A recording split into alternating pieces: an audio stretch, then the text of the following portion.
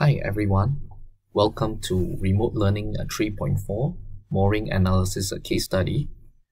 So for this uh, remote learning, we'll be analyzing the mooring loads of a single static catenary line and how we can size up the mooring chain required. And uh, we'll be using the catenary line equation as you can see from MEL. So this is the uh, diagram which we are familiar with from the previous uh, exercises. And again, we'll be using the five equations from the total footprint at the top uh, down to vertical force at the valid V at the bottom. And for this round, we'll be also look, using the table from mooring chain proof load which is extracted from the Anchor Manual 2010, page 147. Over this table, you'll see that uh, there are various types of chain R4, RQ4, R3S, R3, RQ3 tag API. They have the proof load as well as the breaking load. Proof load means the safe working load, while breaking load means the ultimate tensile strength as well as there's this portion on the weight of the chain and there are the various diameters indicated on the leftmost column and the various forces and unit weights on the right. Okay, let's look at assignment 2C, which is uh, the question for today. Basically, we'll be looking at one uh, mooring chain for this exercise. So if you look at this exercise further down, and a flotel was designed to operate in a water depth of 120 meters and is kept in station using an 8-point spread equispaced mooring system.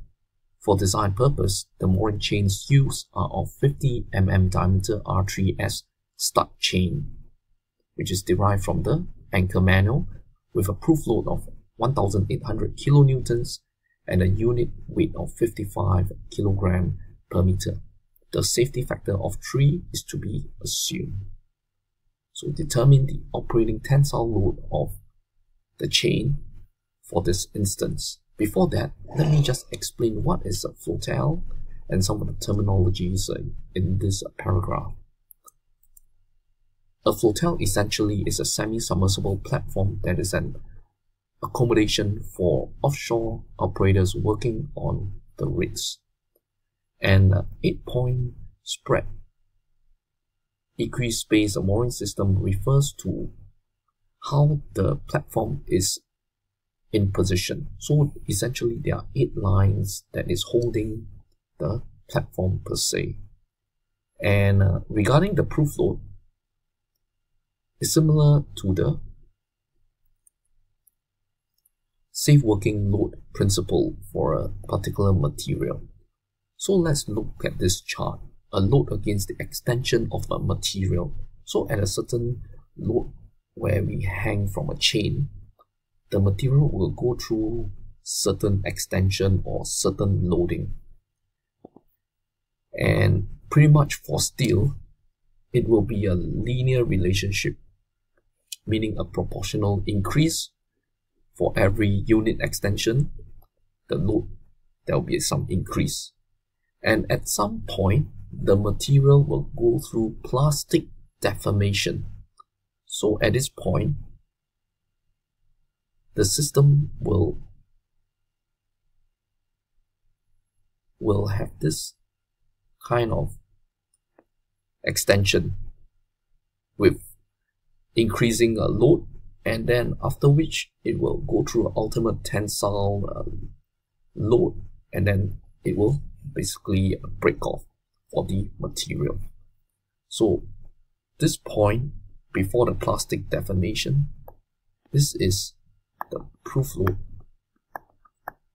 Oops, not too sure why jump.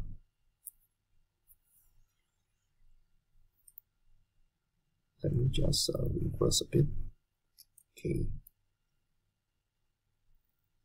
so this portion is the proof load of the material.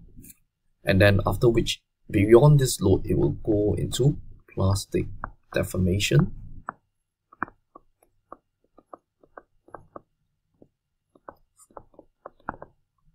And finally, before breaking off, it will have this uh, ultimate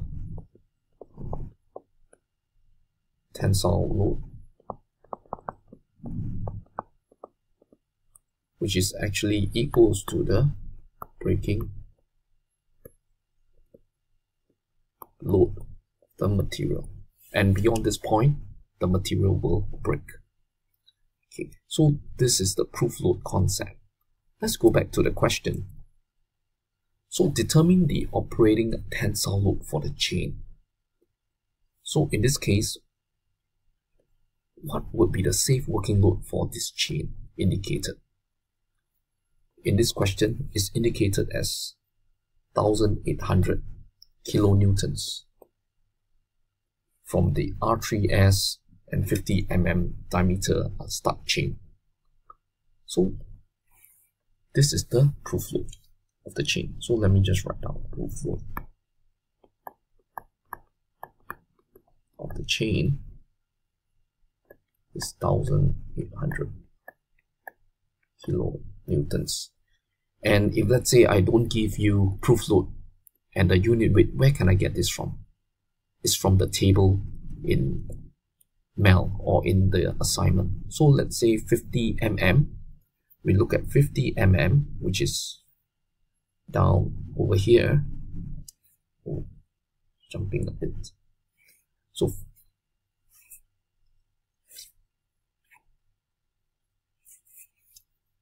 50 mm. Let's look at 50 mm. So if you look at R3S 50 mm, the proof load is 1800. You can see over on my mouse. And the unit weight, if you look across, for stud 55 and for studless 50 kilograms per meters. So if you look at the question again, that's how I get this uh, 55 kilograms and 1800 kilonewtons. So in the test or assessment, you'll be required to look up the table to get these numbers. Alright, so let's come back to A again. A proof load of 1800 kilonewtons. So,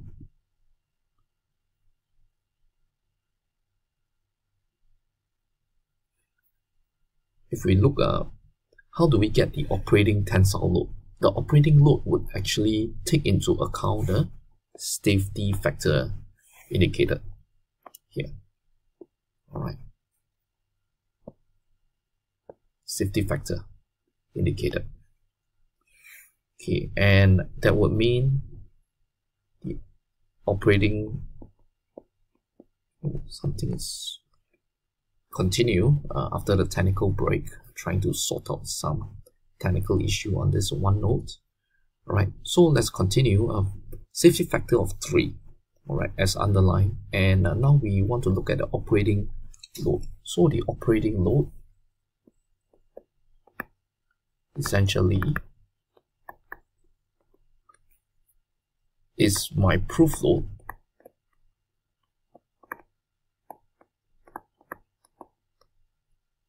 divide by my safety factor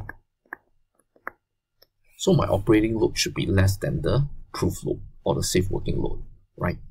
Because beyond 1800, it will be, the chain would undergo plastic deformation. So in this case, 1800 kilonewtons divided by 3 and that would give me 600 kilonewtons. And we need to express the answer in kilograms and that would require me to convert to kilogram force. And how do I do that? I divide by the acceleration due to gravity, which is 9.81. So in this case, 600 is in kilonewtons, so I need to multiply by 1000 newtons over 9.81 meters per second and that would give me the value in kilograms and in this case it will give me 61162 kilogram and that will be the operating tensile load for this question. That is for part A. For part B, based on this operating load of the chain, determine the design maximum horizontal force TH that the chain was sized to take this environmental load.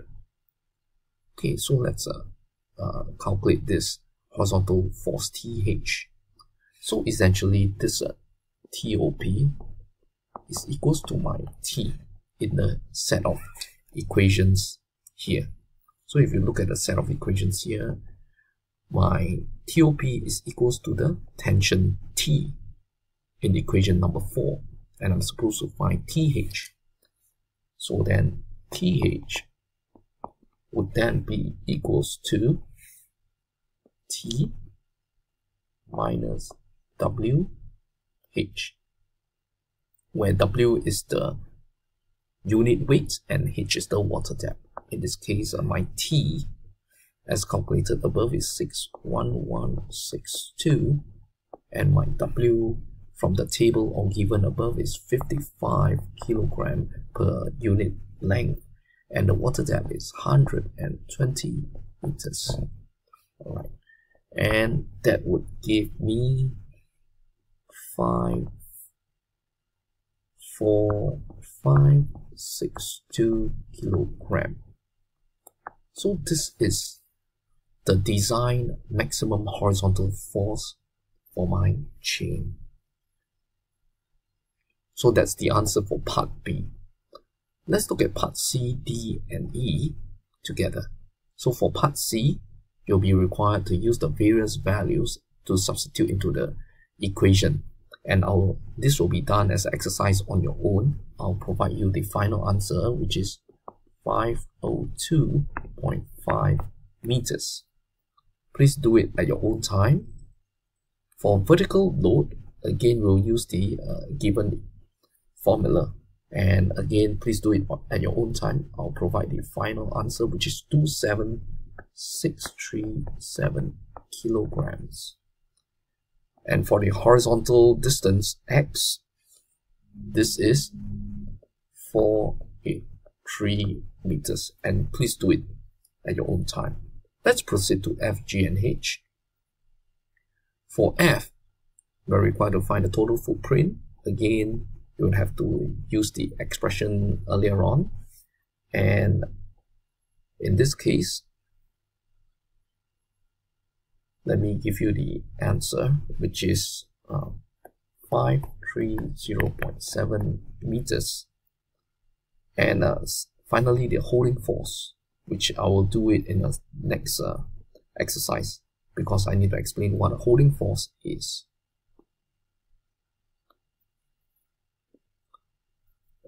Okay, let's go back to E again. Okay, E I've given you as 483. Okay, I just want to confirm this. Alright, hope you have a good time working out the parts C, D, E, F, and G. The next video will talk about H. Thank you so much.